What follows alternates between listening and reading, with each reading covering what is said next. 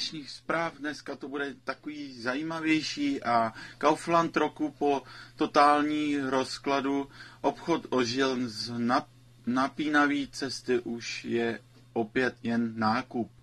Takže znamená to, že asi se stále uh, rozšiřuje, nebo vlastně ten Kaufland uh, se zlepšuje, tak jsem chtěl říct. říci. Uh, napětí u pásma gázy síly obě, obě strany vypálily další rakety. Několik lidí zemřelo. Oh, když zemřelo lidi, lol, docela z toho mám velký strach, tyjo, dávat fakt na to bacha, nechodit, kde to je, vůbec celkově, vůbec tam nejezdit. Ve Venezuele se zřítil armádní vrtulník. Všech sedm lidí zemřelo. Příčina není jasná. Oh. Už zase další věc, která se tady boří lidi. To je hrozný. Autobusy v Plzni srazili chlapce, dítě asi přebíhalo na červenou, utrpělo těžké zranění. E, myslím si tohleto, že by srazilo chlapce. Myslím, že ten autobusák byl asi nějaký psychopat, si myslím, neboli nebudu tady říkat, ale chudák dítě, to by si měli e, ten autobusák koukat na značku, jaká tam je vůbec celkově. Dálniční D1 je po uzavírce směrem na Brno opět průjezdná. To je super, už je to konečně průjezdní D1, kdo tam jezdí, tak to pro něj může být, být super. Uh, myslím, že uh, e, KLDR stupňuje tlak na Washington, vypálili nějak kolik raket na testování dohlížel, dohlížel Kim. Uh, za, další ty rakety, to, to fakt jako, co se dneska děje ve světě, to je hrůza. Je to fakt hrůza.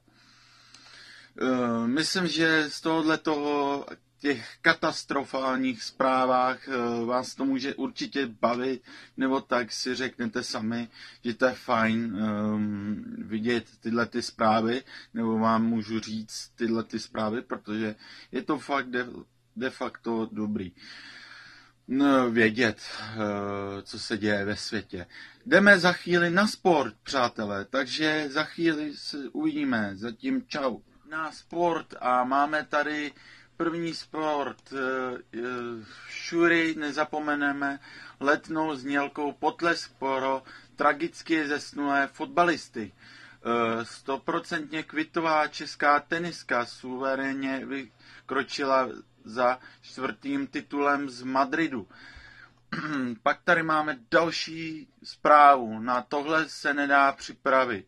E, Spartané po Šur lově smrti nemohli ani trénovat, což si myslím, že je škoda.